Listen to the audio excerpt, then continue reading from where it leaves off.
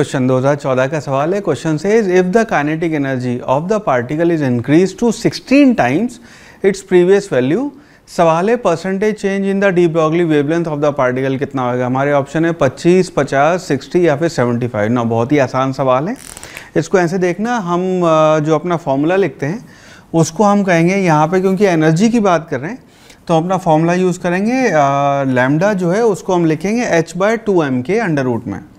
H divided by two M के ना ये आपकी लेट से लेमडा वन इनिशियल वैल्यू थी। अब हमने काइनेटिक एनर्जी को 16 टाइम्स कर दिया है। तो आपकी जो लेमडा टू हो जाएगी वो हो जाएगी H divided by two M multiplied by sixteen के ना इसकी वैल्यू है uh, ये अगर आप बाकी सारे फैक्टर्स को वो रखेंगे तो आ जाएगा lambda one divided by under root of sixteen यानी कि लेमडा बाय फोर ठीक है? सो आपकी पहले वैल्यू जो थी उससे वन फोर्थ हो गई। यहाँ पे हमसे सवाल पूछा है परसेंटेज चेंज कितना आएगा?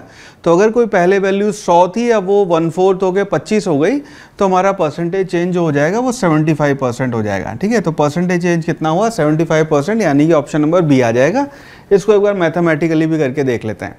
तो यहाँ पर अब हम बात कर रहे हैं आपका परसेंटेज चेंज कितना आएगा?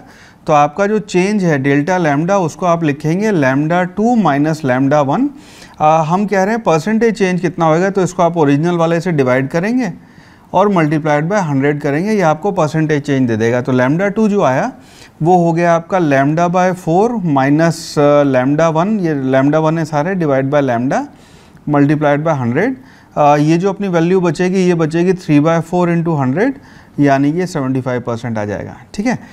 सो बेस्ड ऑन दिस कह सकते हैं हम कि ऑप्शन नंबर बी आपका 75 percent would be the right answer